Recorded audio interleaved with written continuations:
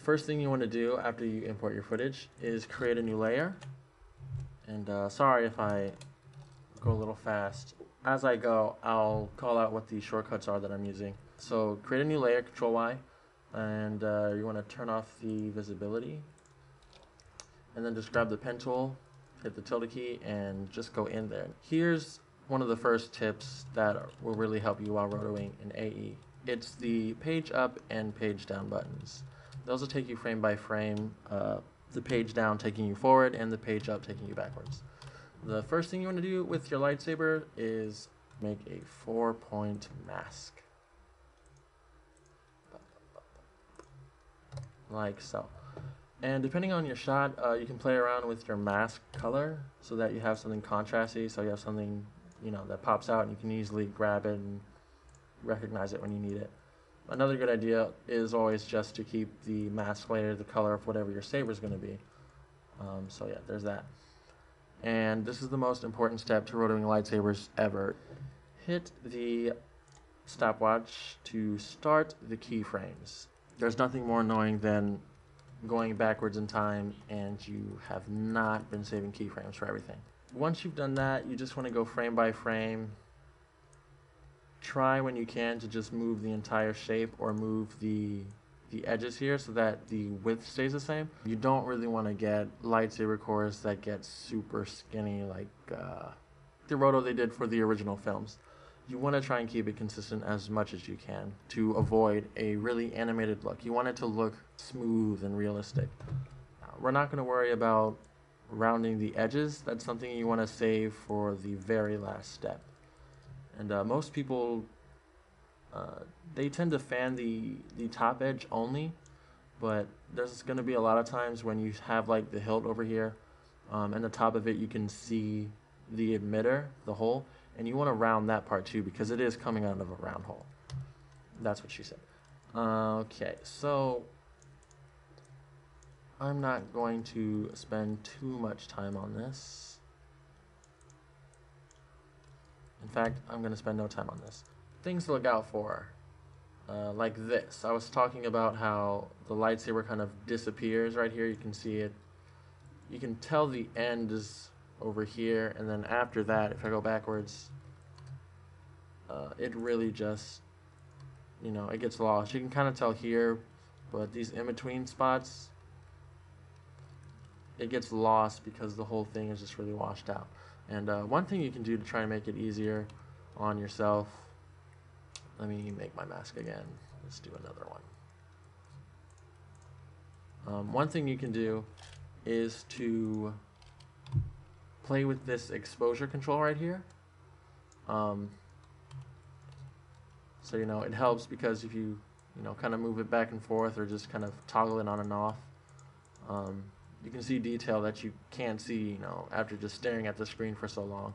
So if you zoom in, like right here, it's like super, super minuscule detail, but you can kind of see the color changes right here.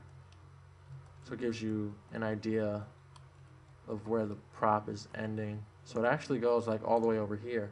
Another thing you can do is to stop on the last frame where you can really tell where it is. Go forward some to the next time you can clearly tell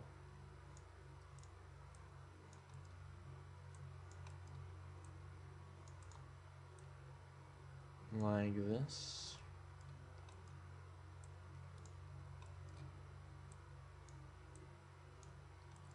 And then you just want to go back. And now that you have that you can kind of use that as a guide to see where the end should be so you want to try and move just the edges. Try not to move the points too much if you don't have to. And that's just a general tip for rotoscoping. To avoid boiling edges, you know, or in this case, just having the length or the width of the lightsaber change too frequently. You want to get used to using Control Z and page up and page down to go frame by frame.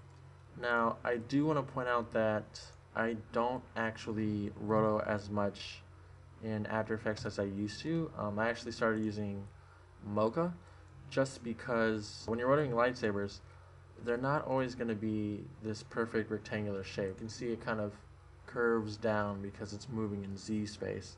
So in Mocha, you can, you know, you can do things that you can't really do in After Effects. You have a lot more control. Like that. So if I wanted to, I could, you know, basically what I would use as the fanning point, uh, I can now bend in and then kind of curve those edges and then it'd be smooth like that and you get that nice curve. Um, some people are just gonna go over it, like they just totally ignore that and it's not really recommended. When you when you see it in motion, there's a big difference. It, it you can tell when the roto is following the natural path of the blade. Otherwise, you're going to get sort of a choppy animated look if you just kind of cut corners like that. If you're in a pinch, you know, go ahead and do it, but if you have the time, um, you know. So the next step after you finish rotoing frame by frame would be to uh, round the edges. Most people will fan their edges really kind of bloated uh, to the point where it it almost looks like a popsicle or uh, like the tip of a master's or a master replica lightsaber. Um, so you want to use it sparingly. Um, another little detail some people don't really do, and I guess you don't really need to do it, you know, all the time. Um, it's not a huge deal. Is I like to round both ends because the lightsaber is coming from a round uh, hole. It's coming from this emitter on the hilt. So ideally, you want to do something like this where you'd kind of curve it. You know, even though it's fanning out, you're simulating it coming out of that that hole. It's being blurred as well. It's being stretched. Grab the pen tool, do this side.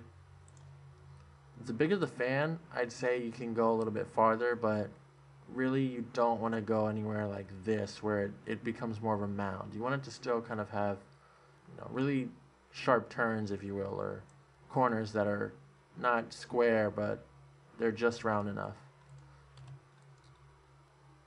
Like that. And another thing you want to do, um, especially when you can't tell where the end is, is I always like to kind of guide the the rounded edge so that the the fatter side of it is aimed more towards the direction in which the blade is moving. So what I mean by that is if you go forward in time, it's going up this way. So you give the curve more of an angle towards the top each time you go. And basically just kind of, you know, keep it going towards its final destination. Instead of just having it fan straight out. So after you've rounded all your edges, whether it be the top um, and the bottom or just the top. Select your layer, turn on the uh, opacity, and uh, just create another solid here. Make it black and just name it know, BG. Put it below the core layer and then select both of them and press Control Shift C, which will pre-compose it, and we're just going to name this uh, red core. and then uh, just open that pre-comp and then in here I'm going to teach you how to do a glow method that uh, Nate Cauuwe uses. So the first thing you're going to want to do to do the glow is create in a new adjustment layer and apply fast blur and repeat edge pixel so it doesn't blur the ends as if it's not going off screen. And then duplicate it, let's see, control D, 1, 2, 3, 4, 5, 6, 7, 8, 9, 10. Um, duplicate it a bunch of times. And then let's bring up the blur on this first layer and let's call this uh, let's call this core blur. Now this one we're not going to change the transfer mode or anything. We're going to leave this on normal so that it's not adding anything to the the roto. It's just blurring it you want to bring up the fast blur and I just press UU on the keyboard so that it bring up you know any effect and then uh, do the same here except you're gonna alt click the stopwatch for that blurriness and pick whip it to the original one and then after all the stuff that it types in you're gonna want to put times 10 and what that's gonna do is multiply whatever the value is for this first one by 10. Um, so if I put 1, it'll just give you 10 for the next one, and so forth. And we're going to do this for the rest of them, and it's going to go up and make it a little bit blurred each time, and we'll change the transparency so it's not too strong. Um, when your saber is close to camera, you want to have it at the blur level of 3. If it's if it's out of focus, then I guess you can go to 4. You don't really want to push it too much or the main core right here, as you can see, it'll get more gray and you want to keep it white. 2 will be good for this scene. So yeah, once you do that, we're going to go ahead and bring up the next adjustment layers, fast blur, stopwatch, and then pick whip this one. You don't want to pick whip the, the first one. You want to, you know, keep multiplying it as you go.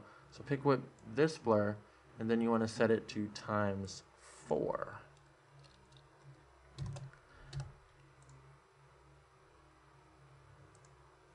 So now you have something at 80, and you're going to set this one to screen. And we're going to set all the rest of them after this to screen. So every adjustment layer above the core layer, you want to select it and set it to screen. After you've pick whipped that one, again, do the same thing for the next one.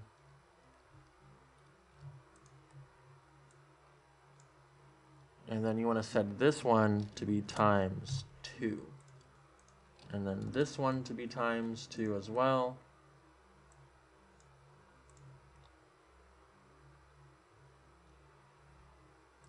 Oops. Times 2.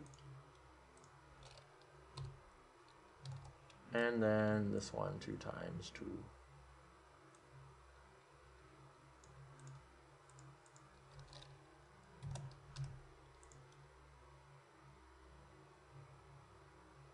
Now, I'm going to go back down from the top one, and I'm going to change all the transparency for each one.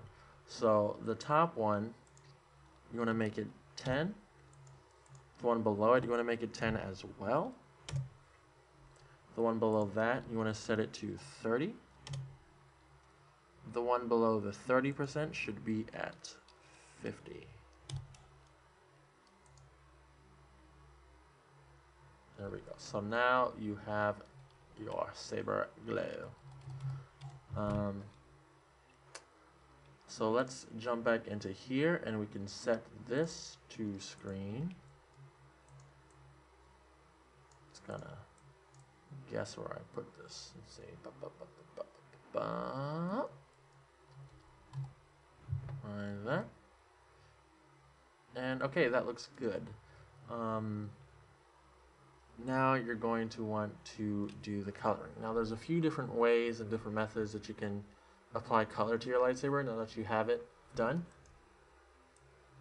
The method I like using is by color balance and you want to turn on preserve luminosity and uh, so you want to mess with the highlights and the midtones. You don't want to mess with the shadows too much or at all because it'll give you some you know, some undesirable effects. If you want to put a little bit into the red, that's fine because you're going to find that with red it ends up being a little bit pinkish. So sometimes I'll go, I don't want to go over like 10 or 15. But a thing that really helps with any color is putting in a bit of another color. So for red, you might want to put in a little bit of green for the midtone. Or put it in for the highlight so it makes it a little bit, you know, hotter. Not too much like that. Um, if you wanted to do a blue of course you know you'd up the blue and you'd up the blue. But if you want a Star Wars blue uh, you definitely want to add some green in there something like 40 in the mid-tone and then 30 up here. Like so. And of course if you want to do cyan um, then you just up the green a lot more. Um, you can almost take it to 100 as well um, really, this is just up to you. Um, but you want to play around with keeping the whatever your secondary color is in the midtones a little bit lower and you can make it a bit higher in the highlights so that it gives it more of that hot look towards the center of the core. Um, Another thing you want to keep in mind is uh, this. You see this banding here where the colors are, you know, it's very apparent the separation of the gradient. Um, if you can, work in, you know, 8 bits per channel, but uh, if you just want to work really fast, just tick it on at the end uh, right before you roto to 16 by holding down Alt and then just clicking it. And it'll give you a much smoother result. So this is the basis of rotoing a lightsaber and doing the effect. Um, there you go, that looks pretty good. Duplicate the layer with the color. Um, apply another fast blur and put it above the color so it'll receive the color. Uh, change it to add. Turn the opacity down to like, mm, let's try 15. And then just blur it out really, really, really big. And this will kind of give it a, uh, a look of uh, interactive lighting around. It'll just kind of extend the glow a little bit farther. And you can play with the values on that if you want to. Um, you don't want to do something too strong, otherwise you'll have something like this, and when it swings around, you'll just see this giant circle. Um, so yeah, you want it to be subtle. You don't want to overdo it. Another little thing um, that a lot of people don't really think to do, but helps is to put grain back over your lightsaber, depending on how much grain is already in the shot itself. Um, you can either, you know, match the grain, and there's a few ways to do that. You could, you know, come over here and apply match grain, set the source layer to the footage, increase the intensity a bit.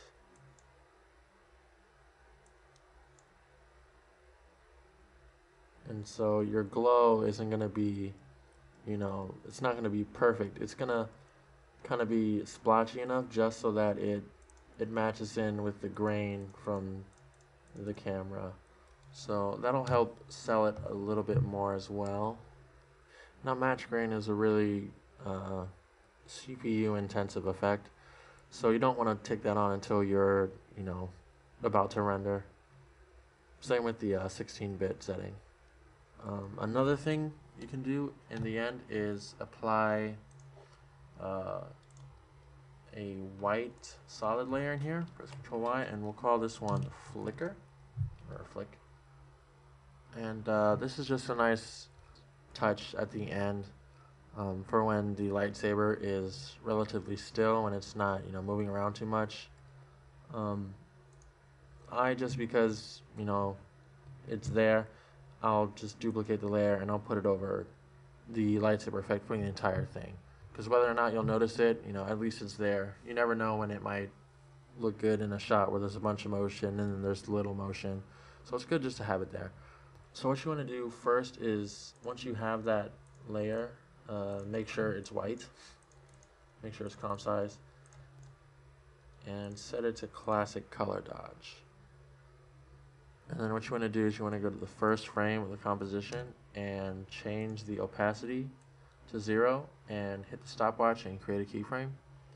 Go to the end of your comp and set a keyframe there. And then hold down shift, select the other keyframe. And then what you want to do is go to the wiggler. I'm going to pull it up right here. Wiggler.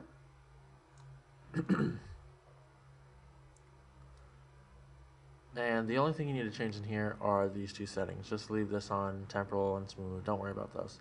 Um, of course, the faster way is to alt-click the opacity stopwatch and type, you know, wiggle parentheses, I don't know, 15 and 20 or something like that. But I'll teach you how to use the wiggler right here because most people don't even know it's there and they're like, eh, no, I want to learn expressions. So it's right here. The frequency, uh, like I said, you want to make it like 15 or 20 per second, depending on how, you know, how obvious the flicker needs to be. make the magnitude somewhere around 15 to 20 as well. And hit apply. And I'll just render out a little preview right here so you can see it where it's not moving. Uh, see, that looks alright. Um, if you don't like it, you can always just, you know, hit Control Z, undo, and up the frequency maybe. Boom. That looks good. Uh, probably the magnitude is a little bit uh, too high. It's popping a little bit. Um, or not, depending on what you want to do. Another way to do the glow is using Daniel Broadway's plugin here called Real Glow, which gives you a pretty nice effect very quickly. It's a little more render intensive, but it's a lot simpler than, you know, creating six adjustment layers. All you have to do is apply it to the roto layer after you're done. Select softer for the tint mode and then change the color accordingly. So I have a few ideas that I wanted to share with you and uh, just some things to remember um, about this way, why you should be doing your lightsabers this way. So let's take a look at a picture from episode 3. For whatever reason, um, they opted to obscure the glow, not just the core of the lightsaber, but the glow as well of the lightsaber behind everything. So what you get is this kind of cutout looking thing, and it's not very realistic. The reason the lightsabers even have a glow in the first place is because it's an optical effect. It's something that's happening because, you know, the lens of the camera, or if it was real life, you know, with our eyes, it would glow like you see, you know, any other supremely bright light source. Um, so to block it like that makes no sense, especially considering when you look at something like the the original duels. Uh, in episode, you know, five or six, you go back and look at those, and it was probably by accident that they did it, but uh, uh, maybe not. But uh, yeah, that it just does not look good.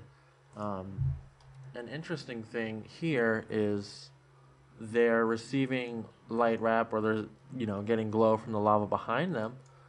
Um, but again still not from the lightsaber. They went through and they rotoed everything to obscure the lightsaber core. Um, and that's a lot more work. And it's not even you know more accurate. You you definitely want to make sure you're rotoing those things that obscure the core first and then applying the glow very, very last on top of everything. Um, another neat thing that you can do that I didn't really go over is uh, doing interactive lighting.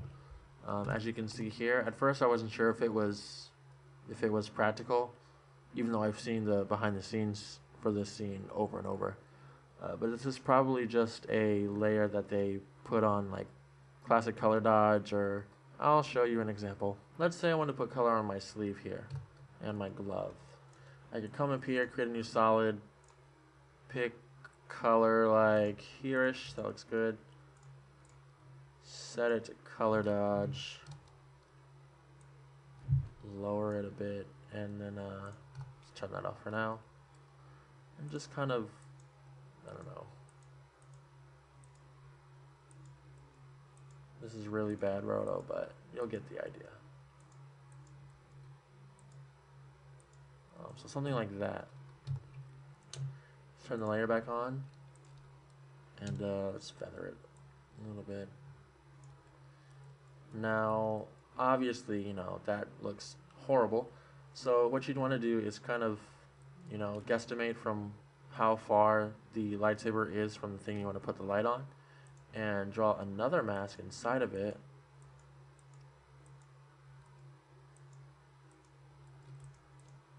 Like that.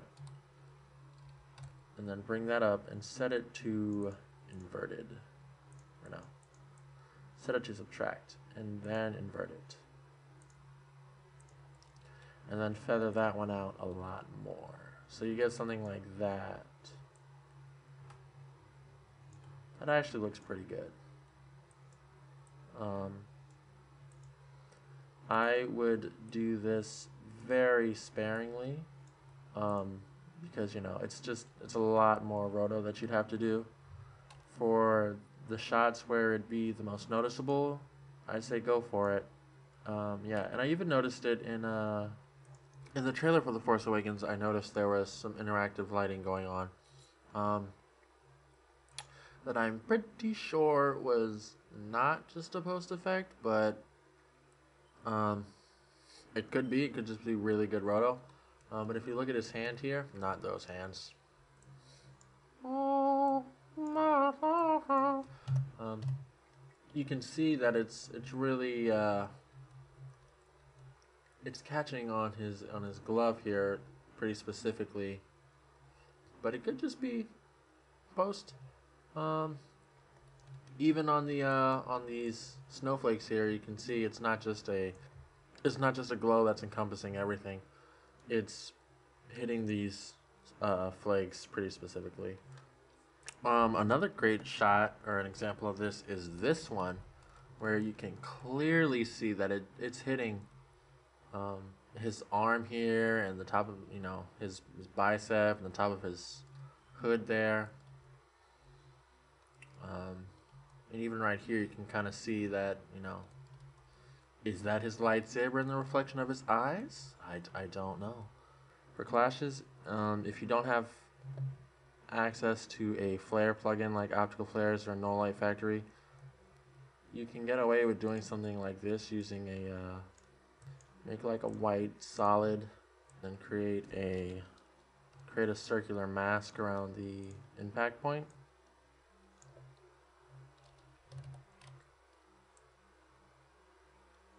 And then you can play with the expansion and the feather. And you want to set it to uh, to add. Fan that out.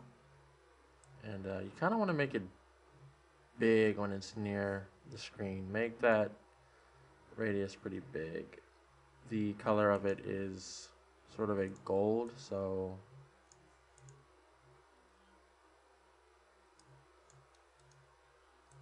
and then you want to just kind of tint it and give it a reddish orangish glow like that and then animate the opacity and the shape like this. So you can actually just move the expansion down each time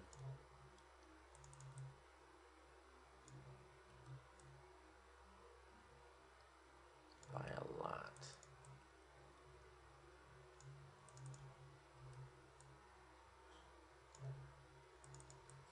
And then for when it's a sustained uh, clash like this, it's always a good idea to um, either animate the opacity flickering yourself, or you can, you know, apply the wiggle the same way you did the lightsaber, just on the opacity of this layer itself. Instead of the mask, go to the opacity of this layer and then, you know, wiggle it here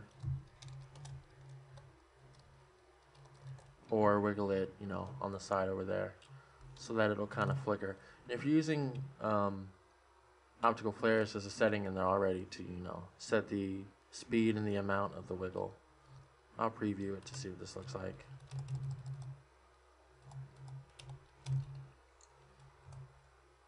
Like that. Yeah, so that's the poor man's clash. The benefit of doing it this way using a mask is if the clash ends up happening, you know, like it's obscured, say the clash was over here by, uh, by the head. If the clash was happening over here, then I could just bend the mask myself from here and kind of, you know, I can guide the glow a bit better of it.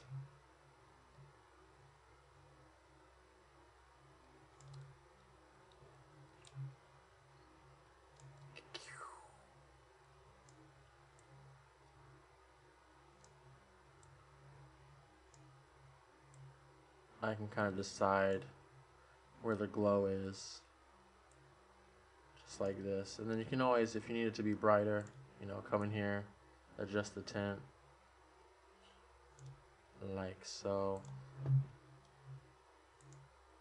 But uh, yeah, ideally you want to use, if you can, optical flares or Knoll Light Factory and then just go in here and already have one made where it's, uh, where are you? I don't have one made. Go in here, clear everything, bring in a glow and a spike ball. I'm going to squash the spike ball down the side a bit and then change the global color to that golden color like that. Let's see, a little less saturated. Uh, like so. And then even if you want to, it if it's you know a sustained go again this is just a if it's a sustained class you want to come over here and set a keyframe for the animation evolution go forward set another one so that it's kind of moving. And then also bring up the uh, speed of the flicker and keep the amount relatively low so it doesn't just turn off. And then um, smooth the sharp uh, I prefer smooth but it's whatever you like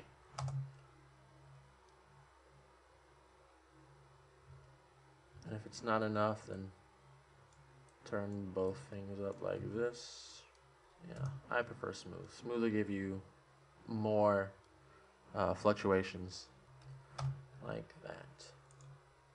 And then of course, you know, you just animate it, um, animate the position of it. Um, and these lines, these really fine lines, are not appealing to me, so apply a fast blur. Make them a little less apparent.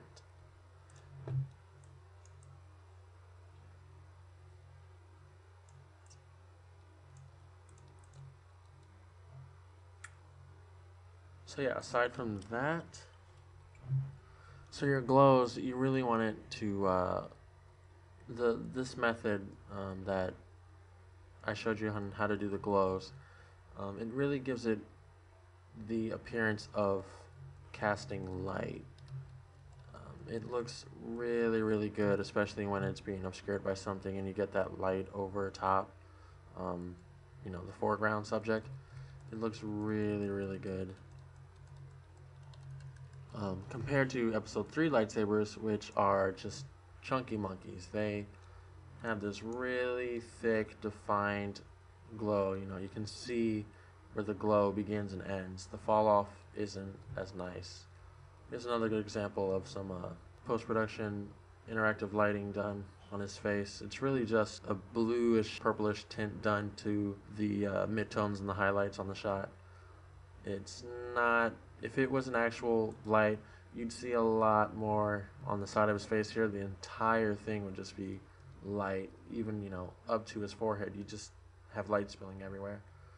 So yeah, that's about it. The things you should really focus on um, that'll separate your lightsaber effect from every other one on YouTube is uh, getting those the the edges rounded the correct way. You know, not letting them too too bulgy. Just you know, keep it accurate to the arc of the saber um, or whatever's happening in the shot so the animation plays back smooth. You can tell when you play it back the difference between uh, you know one that follows the natural path of something filmed and one that's hand animated. The colors, try not to keep them too saturated because it'll just make the glow look really thick and it'll throw off, you know, the entire process of applying that uh, that ratio glow. Uh, and again, make sure that you you're exporting at 16-bit per channel. Otherwise, you're gonna get those those banding lines on your lightsabers, and it's not very pretty. Especially when you go to upload it on YouTube, and YouTube does its compression thing. It's just gonna drop more on there. So do everything you can beforehand, and even the grain adding noise or grain to your footage, um, not just lightsabers, but to your footage in general that you're uploading to YouTube, will help negate some of that blocky, compressed look that YouTube's gonna do, because it's gonna compress your stuff as much as it can. I'll link to a few more resources in the description, such as Saber Sound Effects and Ryan Wieber's original tutorial. Um, I've got some tutorials planned, some title sequence stuff, and breakdowns of VFX shots from past shorts of mine. I'm not sure on the release schedule, but I'll try and keep them coming out frequently If you have questions or if there's something you want to see covered in a tutorial, let me know in the comments below. I'll probably even start to delve into composing music and working in Cockos Reaper, as well as doing some tutorials in Imagineer Systems Mocha. Subscribe, like, and share. That's all for this tutorial, and now it's time for you to escape from post.